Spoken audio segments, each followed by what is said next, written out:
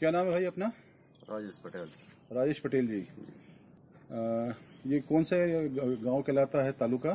छोटी वनखेड़ी सर। छोटी वनखेड़ी गाड़ावाड़ा गौड्रेवाड़ा अच्छा। चार सौ पिचासी पे जो है अपना ये लेजर लेवलर कितने टाइम से चला रहे हैं आप यहाँ पे? सर जाए दो साल हो गए लगभग। दो साल हो गए हैं। और दो साल में आपने कितने घंटे चलाया होगा लेजर लेवलर पे?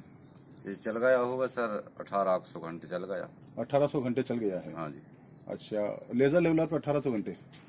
हाँ मतलब डोली के साथ सर। डोली के साथ में और लेजर लेवलर मिलाकर अठारह सौ घंटे। हाँ तो लेजर लेवलर पे नौ सौ घंटे माने? हाँ जी। अच्छा।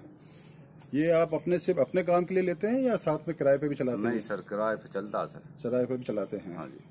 तो कैसा अनुभव है चार सौ पिचासी पे लेजर लेवलर चलाने का आपका? नहीं सर बढ़िया चलता है इसमें।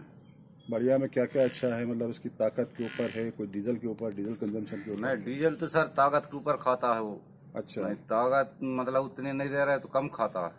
अभी कितना एवरेज मिल रहा है आपको इस गाड़ी पे? इसमें मिल रहा है पौने चार। पौने चार लीटर। प्रति घंटा? हाँ जी। अच्छा। और ताकत जो चल रही है उसमें ताकत मिल रही है ट्रैक्टर के ऊपर? हाँ हाँ जी अच्छी ताकत ताकत में कोई दिक्कत नहीं है? नहीं नहीं। कुछ रख रखाव पे कुछ खर्चा पानी इस ट्रैक्टर में? नहीं नहीं कुछ नहीं। कछु नहीं है। अभी जो है आपका जो अनुभव जो लगा है या सब कुछ लग रहा है जी।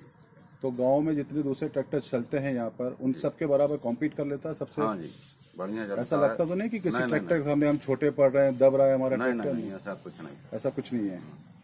और यदि भविष्य में आपके आसपास जो कोई जानने वाला हो या आपको कोई दूसरा ट्रैक्टर लेना हो किसी को लेजर लेवल एप्लीकेशन चलानी हो तो क्या आयशा ट्रैक्टर्स को रिकमेंड करेंगे आप? हाँ जी करेंगे सर।